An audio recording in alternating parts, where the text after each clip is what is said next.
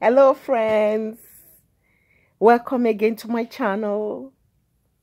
Welcome. Thank you, everybody, for subscribing. If you're new in this channel, please subscribe and share and like because this is a great channel that brings you great content. Today, I've put today a special day aside to celebrate fathers. So today I say Happy Father's Day to all the great daddies out there. And my fellow single moms, Happy Father's Day to you too, sisters. You know, you wear two hats as a single mom. So of course you deserve to, to be celebrated, you know, both Mother's Day and Father's Day. My son actually started this culture. Every Father's Day, he made sure he spoiled me, just like Mother's Day. He said, Mama, you play the role of mom and dad. So, Father's Day, you deserve to have Father's Day gifts too. So that's good. I'm all okay for that. mm, thank you so much, uh, Uche, for remembering me on Father's Day too. But apart from that, today, I've come to talk about my dad. Diopa A.S. Ogodi, my dad. Um, most people know him in the village as Onyenkuzi, which means the teacher. He has been a teacher all his life. Daddy said he started teaching even at the age of 12. Although he didn't experience his own father for a long time, his daddy died when he was very young. Daddy now ended up being a great dad. He refused to give that as an excuse. I didn't have a father, so that's why I didn't become. No, he didn't. That was never an excuse. Daddy believed in discipline. mm-hmm. Daddy believed in love. Daddy believed in family. Daddy believed in education. And most especially, Daddy believed in God.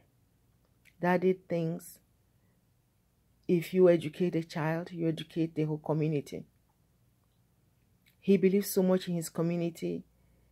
Even when he had better positions, he refused to take them to come back to the village in order to serve his community. We didn't like that move. We didn't. but I'm grateful that daddy did he that daddy made that move. Daddy supported us in our educational fields he did his best. You know, sometimes he had to go without.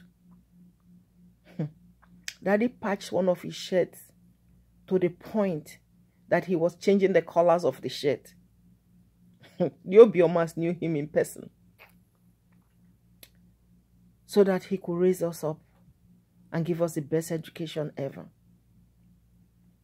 Daddy faced a lot of humiliation a lot of insult and assault.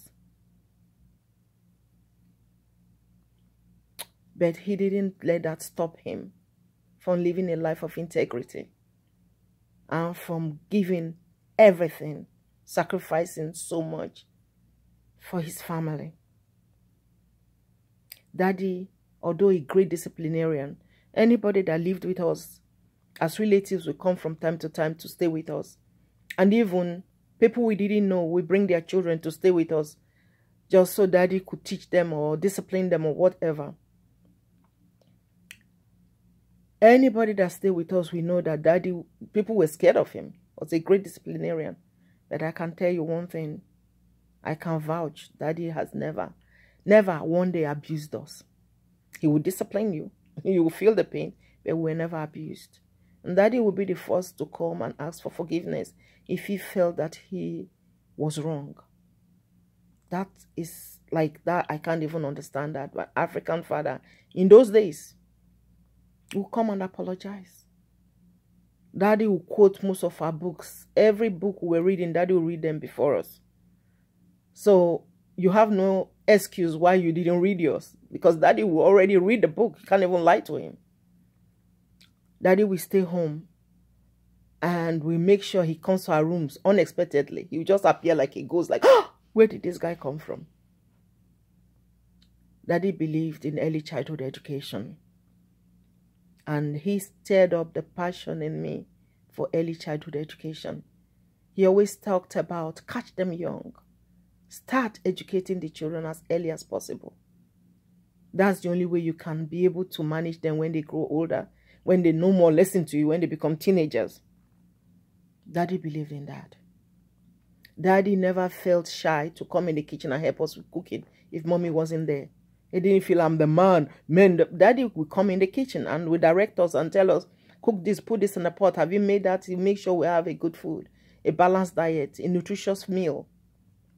And make sure we were clean. Make sure the house was clean because daddy hated filth. he hated filth. So he will make sure the house was spanking clean. He, he can't stand dirtiness around him. He can't stand waste. You know, daddy taught us how to manage time, how to manage our resources, and uh, how to care for the environment at a very early age. As a child, it was annoying if I tell you that it was so wonderful, no, it, we couldn't stand that guy. Like, can he please leave? So I'm encouraging all the young fathers, aspiring fathers, don't be scared of your children. Even when they tell you they will hate you when they bang the door on you, one day they will come and say thank you. But the important thing, Daddy did all he did out of love, and we felt it. We felt his love. We felt that he cared we felt that he gave sacrifices for us, sacrificed a lot for us. We understood that. We didn't always act like we did, but we did, and we still do. So thank you so much, Daddy. And if you are a daddy out there, if you're a young dad, I just encourage you. Keep on doing the hard work, the good work. Focus yourself and lead by example you remember that your daughters are going to marry you, meaning they're going to marry men that act like you. Remember, your sons are going to become you. So think about that before you make the next step.